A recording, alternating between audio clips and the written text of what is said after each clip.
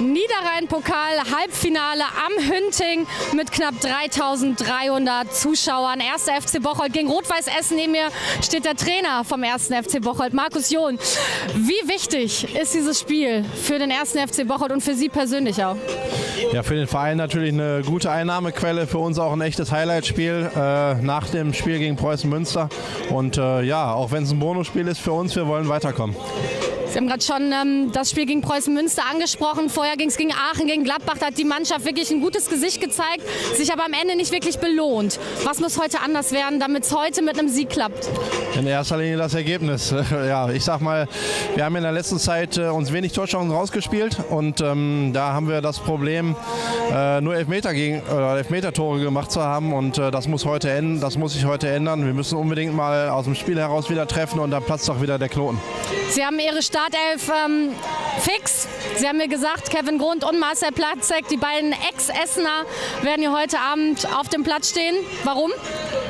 Ja, weil sie gute Leistungen äh, gezeigt haben. Nicht nur, weil sie verdient äh, bei RWE auch lange gespielt haben, sondern sie zeigen auch bei uns äh, gute Leistungen, sind absolute Leistungsträger. Auch Sascha Völkewitsch spielen, der von RWE ausgeliehen ist. Also wir bieten hier schon äh, alle auf, ist klar. Jetzt interessiert mich natürlich, gab es gerade von den beiden, Platzek und Grund, schon eine Ansage an die Mannschaft, wie unbedingt sie dieses Spiel gewinnen wollen, weil es gegen den Ex-Verein ist und vielleicht auch, wie man RWE knacken kann?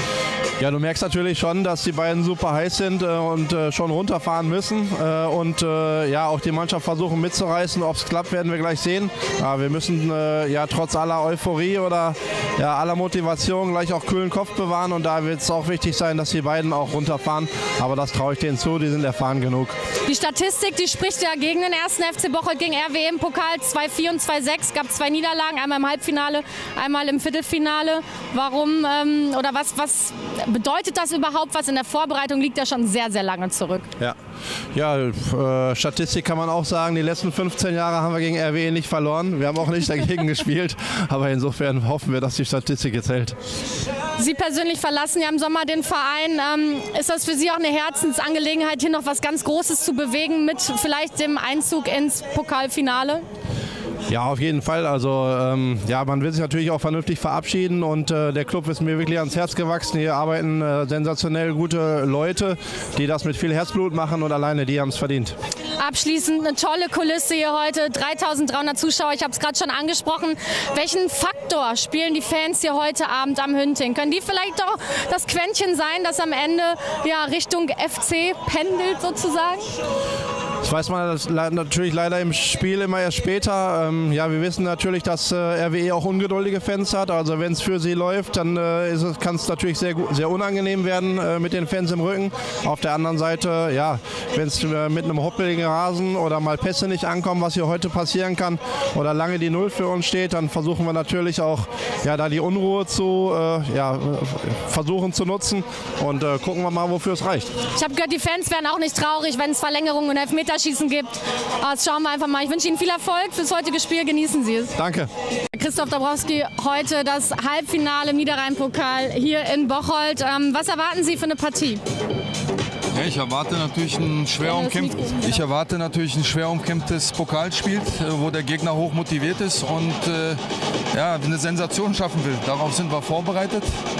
Und äh, es kommt darauf an, eine Top-Einstellung von Anfang an zu bringen. Und äh, ich denke, wenn wir das tun, dann kann sich auch im Laufe des Spiels dann äh, unsere Qualität dann auch durchsetzen. Sie haben wahrscheinlich Gegneranalyse betrieben. Der 1. FC Bocholt zuletzt ja auch unglücklich teilweise. Ähm, wie schätzen Sie die Spielweise des Regionalligisten ein? Ja gut, die sind natürlich schon auch im Abstiegskampf als Aufsteiger, was nicht äh, außergewöhnlich ist und äh, versuchen natürlich äh, in jedem Spiel ihre Punkte zu holen. Äh, haben ein paar Spieler drin, die, die schon auch gefährlich sind. Ja, darauf sind wir vorbereitet und es kommt aber auf unsere Leistung an. Und wenn die von Anfang an bei 100 Prozent ist, dann wird sich unsere Qualität dann auch durchsetzen.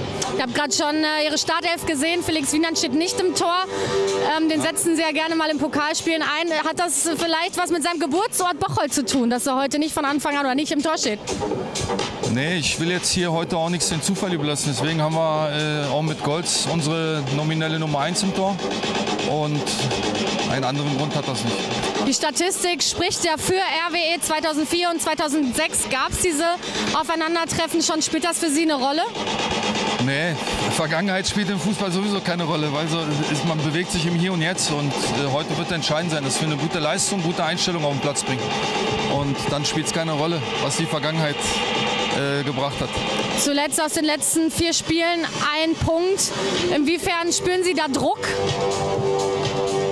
Ja gut, wir sind äh, auch ein Aufsteiger. Wir wissen ganz genau, äh, wie, wie äh, die Saison läuft, was zu tun ist. Und äh, dazu gehört, dass man auch mal Serien hat, äh, die, wo man umgeschlagen ist, wo man Spiele gewinnt, aber auch kleine Serien, die man durchbrechen muss wieder. Und ja, wir stehen eigentlich das ganze Jahr per permanent unter Strom. Bei uns wird es nie langweilig, aber wir arbeiten natürlich schon dran, demnächst jetzt auch mal wieder einen Dreier zu setzen. Wir erinnern uns alle an die grandiose Pokalsaison von RWE 2020. 2020, 2021.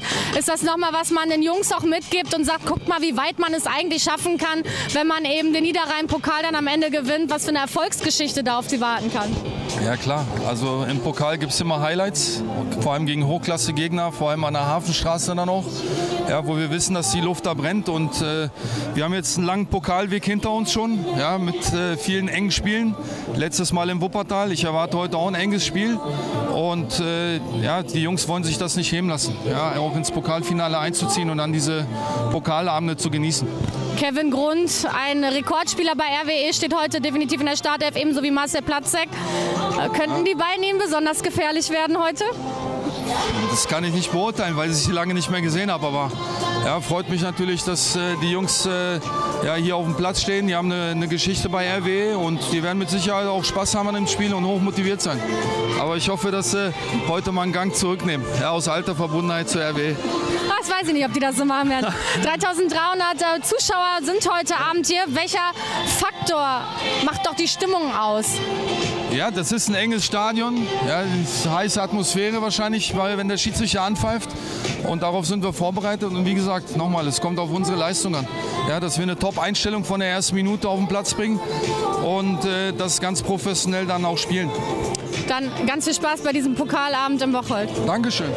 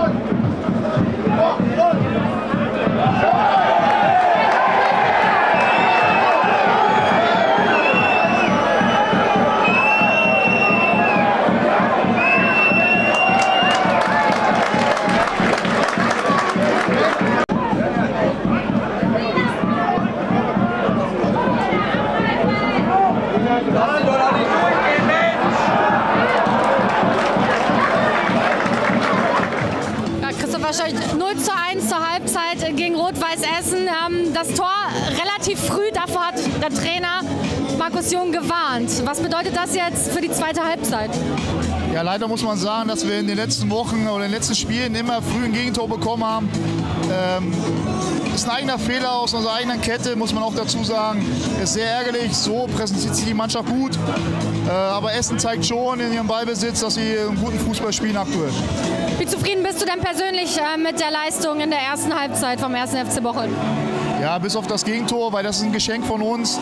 Also ein individueller Fehler äh, finde ich uns agil, ein bisschen mehr Mut noch, aber ich glaube in der zweiten Halbzeit vor der Kulisse ist schon noch was möglich. Inwiefern ist das denn jetzt der Pokalfight, den man sich hier gewünscht hat? Ist das schon richtig schmutzig und pokalmäßig? Ja, ich glaube schon, dass wir noch einen Tick dreckiger sein könnten.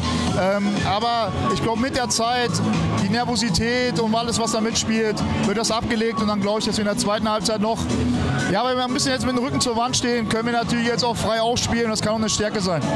Noch vielleicht ein Satz zu den beiden Ex-Essener, Kevin Grund und Marcel Platzek. Wie machen die sich? Ja, Platz und nach seiner langen Verletzung äh, sehr agil probiert. Kevin probiert mit seiner spielerischen Finesse, die er hat, ein paar Ideen reinzubringen. Machen beide jetzt einen guten Job. Aber ich glaube, die haben auch Bock, noch ein bisschen mehr zu machen. Was geht denn jetzt so mit den Fans? Wie wichtig ist der Faktor Fans jetzt für die zweite Halbzeit? Ja, jetzt können wir wieder aus dem Floskeln ein bisschen, ein bisschen sprechen. Also der zwölfte Mann ist immer wichtig. Ich glaube, dass der Funke noch ein bisschen rüberkommen muss. Äh, die Jungs hier, die Ultras geben Vollgas, jetzt noch die Haupttribüne mitnehmen und dann haben wir auch äh, ein bisschen mehr Stimmung hier im Haus. Wären wir hier bei einem anderen Sender, hätte das jetzt 3 Euro gekostet, aber das lassen wir mal so stehen. Gott sei und freuen Dank. uns auf eine schöne, spannende zweite Halbzeit mit vielleicht ein bisschen mehr Fight. So ist es.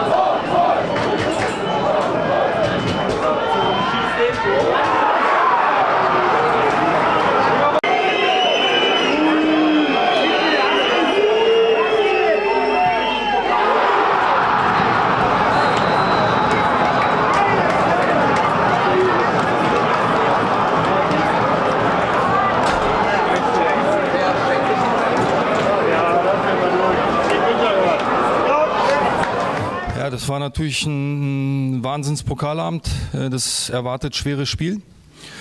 Ich denke, in der ersten Halbzeit haben wir die Bedingungen angenommen.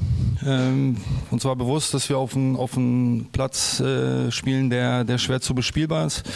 Äh, sind dann auch in Führung gegangen. Ähm, allerdings muss man sagen, die Bocholder haben in der zweiten Halbzeit uns äh, das vorgemacht, wie man so einen Pokalfight annimmt.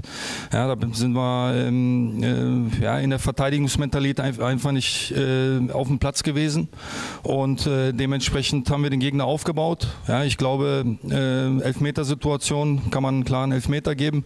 Ja, und nach hinten raus ähm, äh, ein hochverdientes Traumtor der Bocholder, wo sie uns dann in die Verlängerung gebracht haben. Ja, so haben wir uns das nicht vorgestellt. die, äh, Leistung in der zweiten Halbzeit, muss ich sagen, war äh, schon sehr enttäuschend von der Körpersprache, von der Bereitschaft zu verteidigen, sich gegenseitig zu unterstützen. Ja, und es war äh, im Grunde genommen in der Nachspielzeit nicht besser. Ja, dann haben wir uns ins Elfmeterschießen äh, gekämpft und äh, am Ende sind wir der glückliche Sieger. Und äh, klar, morgen müssen wir einen Haken drum machen. Ja, weil Samstag ein wichtiges Spiel auf uns wartet. Ja, aber ähm, wir sind natürlich sehr froh, ins Pokalfinale eingezogen zu sein. Ja, nochmal Kompliment an die Leistung von Bocholt. Ja, alles abverlangt, ein super Spiel gemacht. Ja, aber wir haben sehr viel Luft nach oben, darüber müssen wir sprechen und äh, müssen es dann äh, in den nächsten Tagen ja, in der Regeneration dann Richtung Wochenende äh, am Samstag auf den Platz bekommen. Vielen Dank. Ja, erstmal herzlichen Glückwunsch an RWE äh, zum Einzug ins äh, Pokalfinale. Ich glaube, wir, haben ja heute alles gegeben, die Zuschauer haben alles gegeben ähm, und ähm, wir können uns hinterher vielleicht keinen Vorwurf machen. Den einzigen Vorwurf, den wir uns gefallen lassen müssen, ist, äh, wenn wir doch dann in der erst mal zweiten Halbzeit und auch in der Verlängerung vielleicht die bessere Mannschaft gewesen sind, müssen wir das vielleicht auch äh, dann innerhalb der regulären Spielzeit oder Verlängerung auch entscheiden. Und ähm, weil wir hatten eigentlich zwei, drei gute Chancen noch. Äh, und das äh, Einzige, was man vielleicht auch noch sagen kann, ist, äh, dass wir wieder ein frühes Gegentor bekommen. Das müssen wir unbedingt abstellen, damit wir äh, unseren Plan äh, länger durchziehen können. So laufen wir halt hinterher. Und ähm, ich glaube, hinterher haben wir ja äh, nicht nur alles gegeben kämpferisch, sondern wir haben spielerisch auch richtig gute Ballstaffetten drin gehabt. Und ähm, deswegen ist es halt extrem bitter, dass wir äh, das Spiel verloren haben und somit raus sind aus dem Pokal. Ja, für mich bleibt es äh, dabei, dass es so ein, so ein bisschen äh, ja, unverdient ist, aber äh, im Endeffekt äh, die Karten lagen komplett bei uns äh, und dann muss es auch zu Ende spielen und dann ist es letztendlich ja auch eine Drittligamannschaft, gegen die du verlieren, kann, verlieren kannst. Also nochmal herzlichen Glückwunsch und ja, allen schönen Abend noch.